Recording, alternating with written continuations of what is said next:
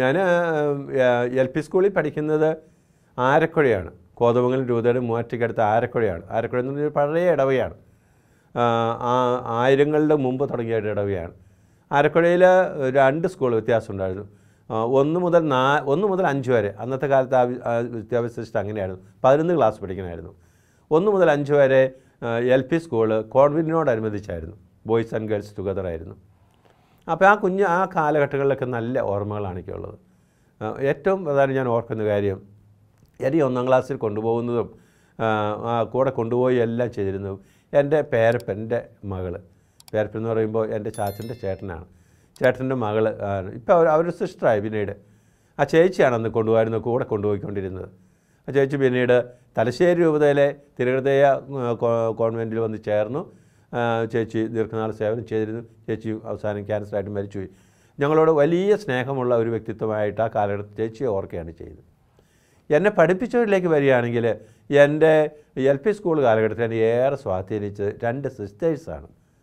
ഒന്ന് ആ L P സ്കൂളിന്റെ പ്രിൻസിപ്പൽ ഹെഡ് മിസ്ട്രസ് ആയിരുന്ന സിസ്റ്റർ പാസ്കലാണ്. എനിക്ക് തോന്നുന്നു ഇപ്പോൾ അവരൊരു തൊണ്ണൂറിനടുത്ത പ്രായം ഉണ്ടാകണം. പാസ്കൽ ഇപ്പോഴും കോതമംഗലത്തുണ്ട്. അവരുടെ പ്രൊവിൻഷ്യൽ ഹൗസിൽ മോനിപ്പള്ളിയുള്ള പ്രൊവിൻഷ്യൽ ഹൗസിലുണ്ട് ഒരു മൂന്നാൽ കൊല്ലം മുമ്പ് ഒരിക്കൽ ഞാൻ പാസ്കൽമയെ കാണാൻ പോയിരുന്നു.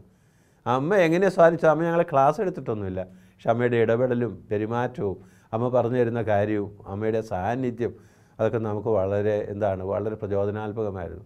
വളരെ താല്പര്യത്തോട് ശ്രദ്ധയോടെ നോക്കുന്നൊരമ്മ അടുക്കും ചിട്ടയൊക്കെ വളരെ പ്രധാനപ്പെട്ടതായിരുന്നു അമ്മയ്ക്ക്. അതൊക്കെ ഞങ്ങൾ ഏറെ സ്വാധീനിച്ചിട്ടുണ്ട്. ഞാൻ അമ്മയെ കാണാൻ മോനിപ്പള്ളി ചെല്ലുമ്പോൾ ചെന്ന് മണിയടിച്ച് ഞാൻ എന്നെ പരിചയപ്പെടുത്തി. ഞാൻ ഞാൻ ഭാസ്കരമ്മയെ കാണാമെന്നാന്ന് പറഞ്ഞപ്പോൾ അവരന്വേഷിക്കുക അമ്മ പറമ്പിൽ ജോലിയിലാണ്. എൺപത്തിമൂന്ന് വയസ്സുണ്ടെന്ന് എന്തോ പണിയൊക്കെ എടുത്തുകൊണ്ട് നടക്കുകയാണ്. അമ്മ ഇപ്പോഴും ഉണ്ട്. അത് അമ്മയാണ് ഒരാൾ. രണ്ടാമത്തെ ഒരു സ്വാധീനിച്ച വ്യക്തിത്വം എന്നെ രണ്ടാം ക്ലാസ്സിൽ പഠിപ്പിച്ച ഒരു സിസ്റ്ററാണ്. ഈ പഴയ കാലത്ത് നമുക്കറിയാം എല്ലാവർക്കും അറിയാം സിസ്റ്റർമാരുടെ പേരൊന്നും മക്കളായ കുഞ്ഞുങ്ങളായ നമുക്ക് പിടിപാട് കിട്ടിയില്ല. കാരണം അവരുടെ പേരൊക്കെ ഇച്ചിരി കോംപ്ലിക്കേറ്റഡ് പേരാണ്. സോ എല്ലാവരും തന്നെ മക്കൾ അതി കുട്ടികൾ അധ്യാപകർക്ക് ഓരോ പേരിടും. ആ പേരിടുന്ന പേരിലാണ് അറിയപ്പെടുന്നത് സാധാരണ നിലയിൽ. ഈ രണ്ടാം ക്ലാസ്സിലെ സിസ്റ്റർ എന്നെ ഏറെ സ്വാധീനിക്കാൻ കാരണം ഈ സിസ്റ്ററാണ് എന്നെ ആദ്യമേ പ്രസംഗം പറയാൻ കയറ്റിവിട്ടത്. ഒരു പ്രസംഗമൊക്കെ എഴുതി തന്ന് എന്നെ പ്രസംഗം പറയാൻ കയറ്റിവിട്ടു. കുറച്ച് പറഞ്ഞു കഴിഞ്ഞപ്പോൾ ഞാനങ്ങ് മറന്നുപോയി. എന്റെ കയ്യിൽ എന്റെ കീശയിൽ ആ കടലാസേഷനും കിടപ്പുണ്ട്. നേരെ മുമ്പിലിരുന്ന് അമ്മ എന്തൊക്കെയോ ഇങ്ങനെ കൈ കാണിക്കുന്നുണ്ട്. ഈ കീശയിട്ട് എടുക്കാനൊക്കെ ആയിരുന്നു പറഞ്ഞതെന്ന് തോന്നുന്നു. ഏതായാലും ഞാൻ പകുതി പ്രസംഗം പറഞ്ഞു ഞാനും ഇറങ്ങിപ്പോന്നു. ഇറങ്ങി വന്നാലും ആ അമ്മ എന്നെ ചേർത്ത് നിർത്തി അനുമോദനങ്ങൾ പറയുകയും ഒരു കൊച്ചു രൂപം എനിക്ക് എഴുതി തന്നു. പ്രസംഗം പറഞ്ഞതിന് സമ്മാനം. ഒരു ഉണ്ണീശയുടെ രൂപമായിരുന്നു. ഞാൻ ഓർക്കുകയാണ് പത്താം ക്ലാസ് കഴിയുന്നവരെ ഞാൻ ആ രൂപം സൂക്ഷിച്ചിരുന്നു. പിന്നെ പ്രായമൊക്കെ ഇച്ചിരി അത് നഷ്ടപ്പെട്ടു പോയി. അതാണ് ആ ഒത്തിരി സ്വാധീനം ചെലുത്തുമായിരുന്നു ഇത്ര താല്പര്യത്തോടു കൂടി. ഞാൻ വൈദികരായ കുറേ നാളൊക്കെ കഴിഞ്ഞപ്പോൾ എനിക്ക് അമ്മയെ കാണണമെന്നൊരാഗ്രഹം. ഞാൻ ആരൊക്കെ ചെന്ന് മടത്തി ചെന്ന് വർത്തമാനമൊക്കെ പറഞ്ഞു. ഞാൻ പറഞ്ഞു ഞാൻ രണ്ടാം ക്ലാസ്സിൽ പഠിപ്പിക്കുന്ന അമ്മയെ എനിക്കൊന്ന് കാണണമായിരുന്നു. ആ പേര് പറയാമോ എന്ന് ചോദിച്ചു. ഞാൻ പേര് എനിക്ക് അറിഞ്ഞുകൂടാ അപ്പോൾ പറഞ്ഞു ഞങ്ങൾ വിളിക്കുന്ന ഒരു പേരുണ്ടായിരുന്നു പറഞ്ഞു. വിളിക്കുന്ന പേര് ഇപ്പോൾ പറയുന്നില്ല. പിള്ളേരല്ല ഇത്ര നല്ല പേരൊന്നുമല്ല വിളിച്ചോണ്ടിരുന്നത്. എന്നാലും ഞാൻ ആ പേര് അവരോട് പറഞ്ഞു. അവരോട് പറഞ്ഞു അത് ഞങ്ങൾ ആ അമ്മ ഞങ്ങൾക്ക് അറിയാം ഞങ്ങൾ കൊണ്ടുവരാമെന്ന് പറഞ്ഞു. അവർ പോയി അമ്മയെ കൂട്ടിക്കൊണ്ട് വന്നു. അന്ന് അമ്മയ്ക്ക് ഏതാണ്ട് എൺപത്തഞ്ച് ചിലാൻ പ്രായമുണ്ട്. പ്രായമുള്ള അമ്മയാണ്. അൽബർട്ടീന എന്നാണ് പേര്. ആ മരിക്കുന്ന വരെ തൊണ്ണൂറ്റഞ്ചൊക്കെ ആയപ്പോഴാണ് മരിച്ചത്. ആ അമ്മ എപ്പോഴും എന്നെ അന്വേഷിക്കുമായിരുന്നു. ഞാൻ ചെല്ലുമ്പോഴൊക്കെ കാണാൻ വരികയും ചെയ്തു. എന്ന് പറഞ്ഞാൽ അവർ നന്നായി പഠിപ്പിച്ചു. ഒപ്പം അവരുടെ സ്വാധീനങ്ങളൊക്കെ സ്നേഹത്തോടെ അവസരത്തിൽ ഓർക്കുകയാണ് ചെയ്യുന്നത്. യു പി സ്കൂളിലേക്ക് വരുമ്പോൾ സ്വാഭാവികമായിട്ടും നമ്മൾ കുറച്ചുകൂടെയൊക്കെ നമ്മൾ വലുതായി അവിടെ ബോയ്സ് സ്കൂളിലാണ് വന്നത്. നമ്മുടെ ടീച്ചർമാർ എങ്കിലും അവിടെ പ്രത്യേകിച്ച് അന്ന് കണക്ക് ഇംഗ്ലീഷ് പഠിപ്പിച്ചൊരു സാറിനെ ഓർക്കുന്നത് കണക്ക് പഠിക്കുന്ന സാർ നല്ല സാറായിരുന്നെങ്കിലും കണക്ക് പഠിക്കാൻ ഞാൻ അത്ര മിടുക്കനായിരുന്നില്ല. അതുകൊണ്ട് എനിക്ക് ആ സാറിനോട് പേടിയായിരുന്നു.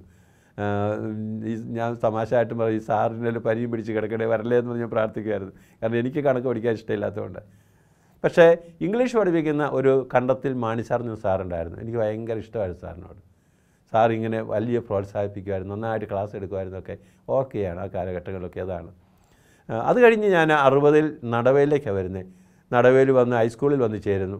അപ്പോൾ എട്ടും ഒമ്പതും പത്തും ക്ലാസ് നടവയിലാണ് ഞാൻ. നടവയിൽ എന്നെ സംബന്ധിച്ചിടത്തോളം എനിക്ക് കുറച്ചുകൂടി പ്രായമായി ചിന്തിക്കാനുള്ള സാഹചര്യമൊക്കെ ആയപ്പോൾ ഒരു നല്ല വിദ്യാ വിദ്യാലയമായിരുന്നു. ഞങ്ങളുടെ ഹെഡ് ഹെഡ് മാസ്റ്റർ ബഹുമാനപ്പെട്ട ജോൺ മണ്ണനാൽ എന്ന് പറഞ്ഞ അച്ഛനായിരുന്നു. അച്ഛൻ തലശ്ശേരി രൂപതക്കാരനായിരുന്നു അന്ന്. അന്ന് അവിടെ അവിടെ ആയുണ്ടായിരുന്നു. അച്ഛൻ അച്ഛന്റെ സാന്നിധ്യം അച്ഛൻ ഞങ്ങൾക്ക് പേടിയായിരുന്നു. ഒത്ത മനുഷ്യനായിരുന്നു ഒരു ആചാരഭാഗമായ മനുഷ്യനാണ്. കർഷണക്കാരനാണ് നല്ല തല്ലും തരും. എന്നാലും അച്ഛനോട് വലിയൊരു സ്നേഹവും താല്പര്യവും ഉണ്ടായിരുന്നു. അച്ഛൻ ഒത്തിരിയേറെ ഉപദേശങ്ങൾ പറഞ്ഞൊക്കെ ഞങ്ങൾ കൊണ്ടുപോയിരുന്നു ഒരു പക്ഷേ കൂടുതലായിട്ട് എന്നെ സ്വാധീനിച്ചത് ജോർജ് ജോസഫ് കല്ലുങ്കൽ എന്ന് പറഞ്ഞൊരു സാറാണ്. അദ്ദേഹമായിരുന്നു ഞങ്ങൾ എട്ടാം ക്ലാസ്സിലെ ക്ലാസ് ടീച്ചർ. സാറ് മാത്സിന്റെ അധ്യാപനായിരുന്നു സ്വാഭാവികമായിട്ടും മാത്സിനോട് ആ താല്പര്യമില്ലാത്ത ഞാൻ സാറ് ക്ലാസ്സിൽ വരുന്നു മാത്സ് എടുക്കാൻ തുടങ്ങുന്നു ചോദ്യം ചോദിക്കാൻ തുടങ്ങുമ്പോൾ എനിക്ക് വിഷമമായിരുന്നു. ഞാൻ ഇപ്പോൾ ഓർക്കുകയാണ് സാറ് എന്നെ ഒരിക്കലെ ബോർഡിന്റെ അടുത്തേക്ക് വിളിച്ചു ഒരു കണക്ക് ഇട്ട് ചെയ്യാൻ പറഞ്ഞു. ബോർഡ് എനിക്ക് ചെയ്യാൻ പറ്റുമോ? ഞാൻ കണക്കിന് മാത്രം പഠിച്ച് എനിക്കതിനോട് താല്പര്യം പഠിക്കാൻ ഇല്ല അറിഞ്ഞുകൂടായിരുന്നു. സാറ് എന്നെ പെൻസിൽ കൂട്ടി പിടിച്ചാൽ ഇപ്പോൾ ഓർക്കാണ്. പെൻസിൽ കൂട്ടി ഇങ്ങനെ ഞാൻ പിടിച്ചിട്ട് പറഞ്ഞു മോനെ കണക്ക് പഠിക്കാതെ നിന്നെ വിടുന്ന പ്രശ്നമില്ല എന്ന് പറഞ്ഞു. ഭയങ്കര ആ പക്ഷേ ആ സാറിനോട് വലിയ സ്നേഹമായിരുന്നു. കാരണം വീട്ടിലൊക്കെ ആ സാറിനെ പറ്റി എപ്പോഴും നന്മ പറയുന്ന കേട്ടിട്ടുള്ളൂ. ആ സാറ് ഞങ്ങളുടെ അസിസ്റ്റന്റ് ഹെഡ് മാസ്റ്റർ ആണെങ്കിലും എല്ലാ ഞായറാഴ്ചയും കുർബാനയ്ക്ക് കൂടാൻ വരും ഞാൻ ഓർക്കുന്നുണ്ട്. കുർബാനയ്ക്ക് കൂടാൻ വരിക മാത്രമല്ല തിരുനാളൊക്കെ വരും സാറ് നല്ല ധൂമക്കുറ്റിയൊക്കെ എടുത്ത് ഇങ്ങനെ വീശുന്നതൊക്കെ ഞങ്ങൾ ശ്രദ്ധിക്കായിരുന്നു. സാർ നല്ല നല്ല വേഷം ധരിച്ച് സ്കൂളിൽ വരുന്നു. അതിൽ ഒന്നുകിൽ ഫാൻസ് അന്നത്തെ കാലത്ത് ഫാൻസ് ഇടുന്നത് വിരളമാണ്. എന്നാൽ സാർ ഇട്ട് വരുമായിരുന്നു. മുണ്ടെടുത്ത് വരികയാണെങ്കിൽ നല്ല മടക്കി സാറിനെ അനുകരിച്ച് കുട്ടികളെല്ലാം അങ്ങനെ തന്നെ വരുമായിരുന്നു. അത്രയും സ്വാധീനം കുട്ടികളുടെ കാര്യത്തിൽ അതീവ ശ്രദ്ധയും താല്പര്യമുണ്ടായിരുന്നു സെമിനാരി കാലഘട്ടത്തിലേക്ക് വരുമ്പോൾ മൈനസ് സെമിനാരിയിൽ അറുപത്തി മൂന്ന് ജൂൺ പതിനഞ്ചാം തീയതിയാണ് തലശ്ശേരിയിലെ മൈനസ് സെമിനാരിയിൽ വരുന്നത്. മൈനസ് സെമിനാരിയിലെ അന്നത്തെ റെക്ടർ ബഹുമായിട്ട് മോൺസിഞ്ഞോർ ജേക്കബ് പുത്തേട്ടാണ്. ചില പ്രായമുള്ള അച്ഛനായിരുന്നു പക്ഷേ ഞങ്ങൾ പറയുന്നത് ഞങ്ങളെ വിളിച്ചിരുന്നത് ദൈവപിതാവെന്നാണ് വിളിച്ചിരുന്നത്. നല്ല താടിയും ഒക്കെ ആയിട്ട് നല്ല വെളുത്ത്. അദ്ദേഹം വെല്ലൂർ വെല്ലൂർ രൂപതയിൽ നിന്ന് വള്ളപ്പള്ളി വിളിച്ചു കൊണ്ടുവന്ന ആളാണ്. നല്ല സ്നേഹസമ്പന്നനായ ഒരു വൈദികനായിരുന്നു. വിശുദ്ധനായ ഒരു വൈദികനായിരുന്നു. അദ്ദേഹത്തിന്റെ നേതൃത്വത്തിൽ ഒരു പരിശീലനത്തിലൂടെ കടന്നു പോകാൻ സാധിച്ചത് വലിയ സന്തോഷമായിട്ടാണ് ആ അവസരത്തിൽ ഓർക്കുന്നത്. എല്ലാ ഗുരുഭൂതന്മാരിൽ നിന്നും നല്ല അനുഭവങ്ങളെ കിട്ടിയിട്ടുള്ളത്. എന്ന് പറഞ്ഞാൽ അവർ നമ്മുടെ നന്മയ്ക്ക് വേണ്ടി അവർ ഒത്തിരി കാര്യങ്ങൾ പറഞ്ഞു തന്നിട്ടുണ്ട്. തെറ്റ് തെറ്റുകൾ ഡൊമിനിക് അച്ഛനൊക്കെ കർശനക്കാരനായിരുന്നു. ഞാനൊരു ചെറിയ ഉദാഹരണം പറയുകയാണെങ്കിൽ അന്നത്തെ കാലത്തൊന്നും ഇങ്ങനെ സെമിനാരിയിൽ എന്താണ് ഈ നമുക്ക് ടേപ്പ് റെക്കോർഡൊന്നും വെക്കാൻ അവകാശമില്ല. റേഡിയോ ഒന്നും വെച്ച് ഉപയോഗിക്കാൻ പാടില്ല. അപ്പോൾ എന്റെ നടവേൽ പള്ളിയിലെ കൊച്ചച്ഛൻ അച്ഛന്റെ ഒരു ടേപ്പ് റെക്കോർഡ്ക്കും റേഡിയോ കേട് വന്നുകൊണ്ട് നന്നാക്കാൻ എന്റെ തന്നു വിട്ടു. അപ്പോൾ ഞാനത് നന്നാക്കി എറണാകുളത്ത് കൊണ്ടുപോയി നന്നാക്കി എന്റെ മുറിയിൽ വെച്ചുകൊണ്ടിരുന്നു. ആ കാലഘട്ടങ്ങളിലേക്ക് എനിക്ക് ലോകസഭയുടെ ഒരു ഇലക്ഷൻ വന്നപ്പോൾ ഞാനിത് വെച്ച് ഇങ്ങനെ ന്യൂസ് കേൾക്കുമായിരുന്നു. അത്യാവശ്യം. ന്യൂസ് കേൾക്കുക മാത്രമല്ല ഞാനത് പോയി കൂട്ടുകാരോട് പറയും ഇന്നൊരു ജയിച്ചു ഇന്നൊരു ജയിച്ചു ഇങ്ങനെയാന്നൊക്കെ. അപ്പോൾ ഒരു ദിവസം അവരെല്ലാവരും കൂടെ എന്റെ മുറി വന്ന് നീ എന്നാ നമുക്ക് വാർത്ത ഒന്ന് കേൾക്കാമെന്ന് പറഞ്ഞുകൊണ്ട്.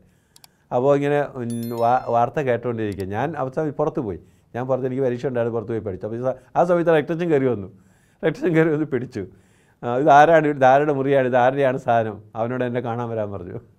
അപ്പോൾ ഞാൻ ഭയങ്കര പേടി അന്നത്തെ കാലം അത് മതി. സെമിനാരിൽ നിന്ന് പറഞ്ഞു വിടും. ഉറപ്പാണ്. കാരണം നിയമം അല്ലെങ്കിൽ ചെയ്യാൻ പാടില്ലാത്ത കാര്യമില്ല ചെയ്തത് ഞാൻ ഉടനെ വൈകുന്നേരം ആയപ്പോൾ രക്ഷനടുത്ത് ചെന്നു രക്ഷണം ചെന്ന് പറഞ്ഞാൽ ശരിയാണ് എനിക്ക് ടേപ്പ് റെക്കോർഡ് എന്റെ കയ്യിലുണ്ടായിരുന്നു. ഞാനത് സൂക്ഷിച്ചിരുന്നു. ഞാൻ ഫാദർ പേറ്റിനോട് പറഞ്ഞിരുന്നു. ഓരോ ഓരോ സെക്ഷനോട് ഫാദർ പീറ്റ് ഉണ്ടല്ലോ. പിന്നെ രക്തച്ചനടുത്ത് ഞാൻ വന്ന് പറഞ്ഞില്ലെന്നേ ഉള്ളൂ. സോറി അച്ഛാ അങ്ങനെ വന്നു പോയതിൽ ഒക്കെ പോയി. You go again don't repeat it again എന്നൊക്കെ പറഞ്ഞൊക്കെ വിട്ടു. ഞാൻ രക്തച്ചനെ ഓർക്കുന്ന ഒരു കാര്യം പറഞ്ഞു.